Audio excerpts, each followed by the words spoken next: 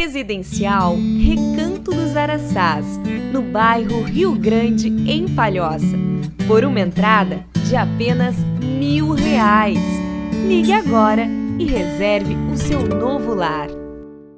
No mundo de hoje, mais do que nunca, tempo é dinheiro. Tempo livre para fazer sua empresa crescer. Para isso, é necessário uma forte parceria com uma assessoria focada nos seus resultados. O Grupo Martelo oferece um variado mix de serviços, seja na assessoria contábil ou na gestão de recursos humanos, além de uma equipe qualificada e uma moderna infraestrutura prontos para alavancar o sucesso do seu negócio. Conte com uma assessoria compatível com o crescimento de sua empresa. Conte com o Grupo Martelo.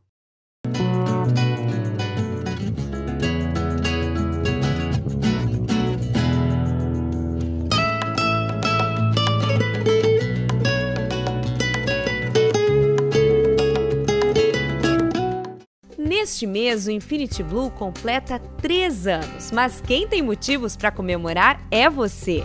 Todas as reservas para hospedagem no mês de maio ganharão um upgrade para um apartamento mais sofisticado e amplo. Fazendo sua reserva diretamente no resort, você ganha um brinde exclusivo. E para moradores de Santa Catarina, o Infinity Blue tem um presente especial. Desfrute de momentos incríveis no Infinity Blue Resort e Spa. Reservas pelo telefone 47 3261 0300 ou acesse infinityblue.com.br.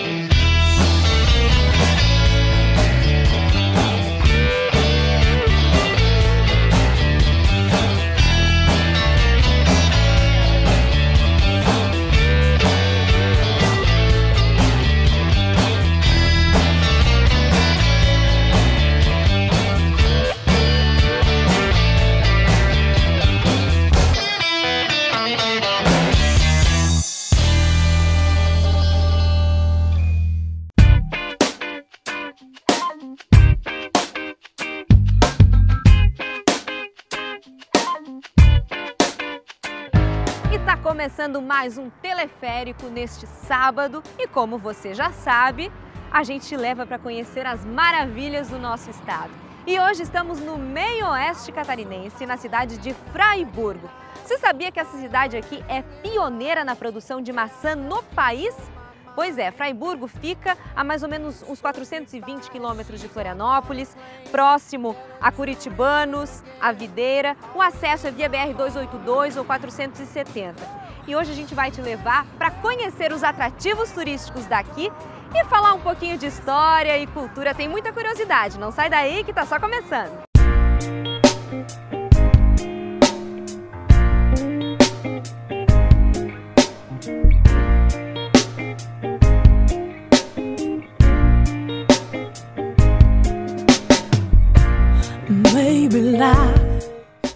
Fraiburgo possui hoje cerca de 35 mil habitantes. A cidade é conhecida como Terra da Maçã e, segundo o IBGE de 2013, responde por 51% da produção catarinense e 26% da produção nacional de maçã. O desenvolvimento de Fraiburgo tem muito a ver com dois alemães extremamente empreendedores, René e Arnoldo Frei. Eles eram filhos de Guilherme Frei, que chegou no Nordeste após a Primeira Guerra Mundial e depois veio parar aqui no Sul. Então os irmãos Frei começaram a desenvolver vários negócios aqui na região e isso ajudou o desenvolvimento e culminou na fundação de Fraiburgo. Mas quem vai nos contar mais detalhes sobre a economia aqui local é o seu Rui, lá na Casa de Cultura Lídia Frei. Vamos dar um pulinho lá.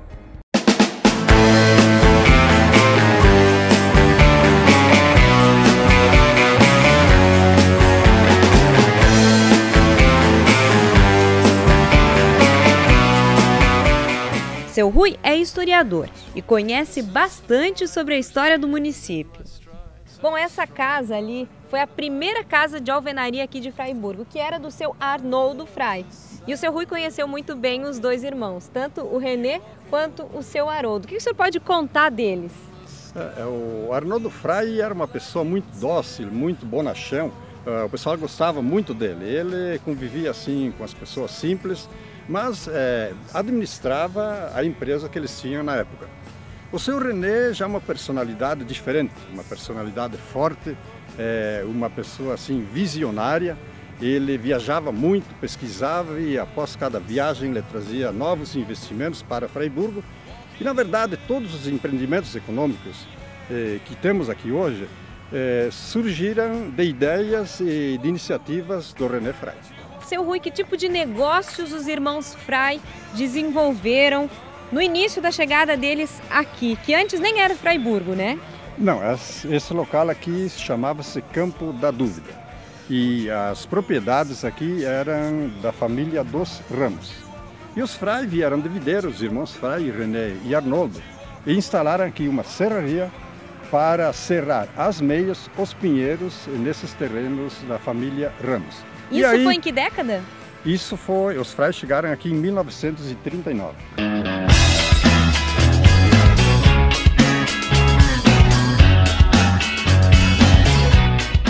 Esse lago aqui, conhecido como Lago das Araucárias, foi construído em 1940 pelos irmãos Frei. Ele foi feito para abastecer a primeira serraria da cidade e hoje se transformou numa área de lazer para prática de atividade física e fica bem no centro de Freiburg.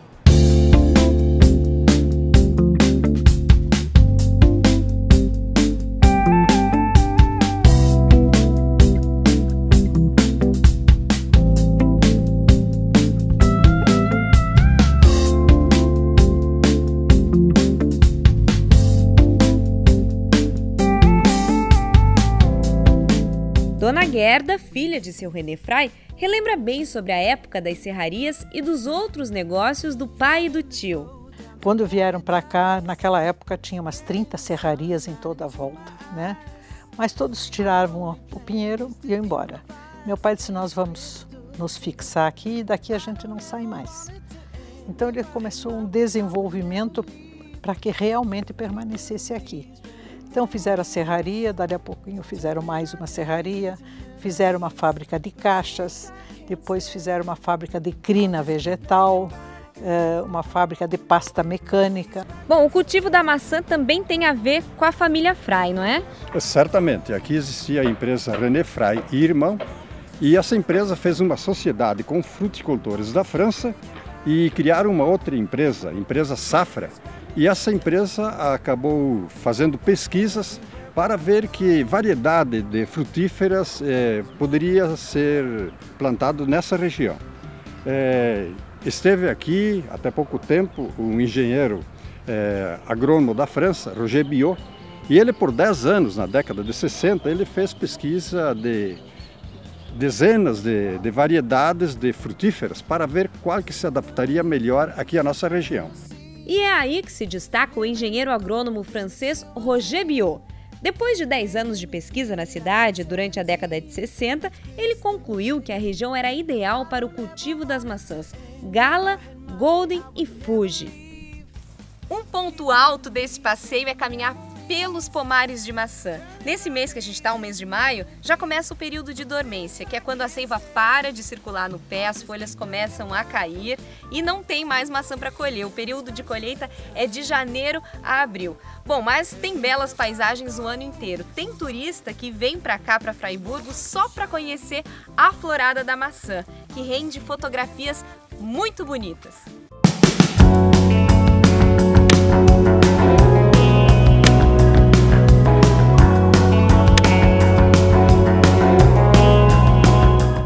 Além das pesquisas, o agrônomo Roger Biot deixou para a cidade de Fraiburgo outra grande herança, que foi o famoso castelinho. O senhor sabe bem dessa história, né, seu É, sabemos a história sim. É, na verdade, o Roger Biot, um abnegado pesquisador, ele aceitou vir aqui para fazer essa pesquisa. Porém, a dona Eveline, a esposa dele, ela, para vir para Fraiburgo, ela exigiu que se fizesse uma residência, um castelinho, eh, nos moldes da região da França onde ela nasceu. Aí os Frei, para manterem aqui o seu Roger Biot, construíram o castelinho. Para isso, foi trazido um arquiteto francês e a obra demorou três anos até ficar pronta. Algumas pessoas contam que cada alicerce do castelo possui uma moeda de prata, pois a tradição francesa diz que isso traz sorte, prosperidade e alegria para os moradores.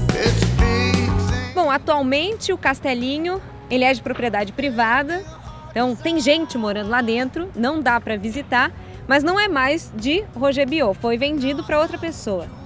É, na verdade, num determinado momento, o Roger Biot e a sua esposa Eveline acharam que o castelo era muito grande para eles, é, grande para eles residirem naquele local. E acabaram vendendo e hoje é propriedade privada. Inclusive o atual proprietário, ele fez muitas melhorias e está muito bonito o nosso castelo. Então sai daí que daqui a pouco o Teleférico volta para te mostrar muito mais do turismo aqui de Fraiburgo.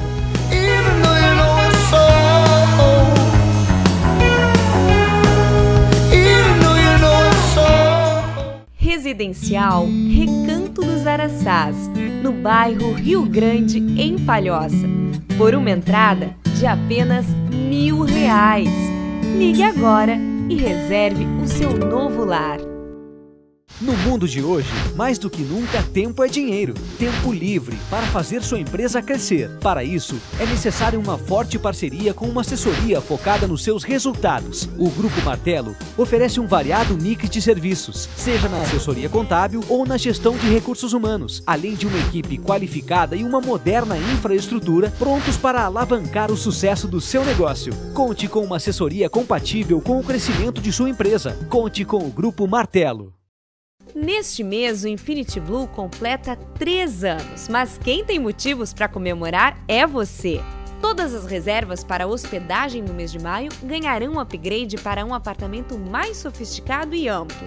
Fazendo sua reserva diretamente no resort, você ganha um brinde exclusivo. E para moradores de Santa Catarina, o Infinity Blue tem um presente especial. Desfrute de momentos incríveis no Infinity Blue Resort e Spa. Reservas pelo telefone 47 3261 0300 ou acesse infinityblue.com.br.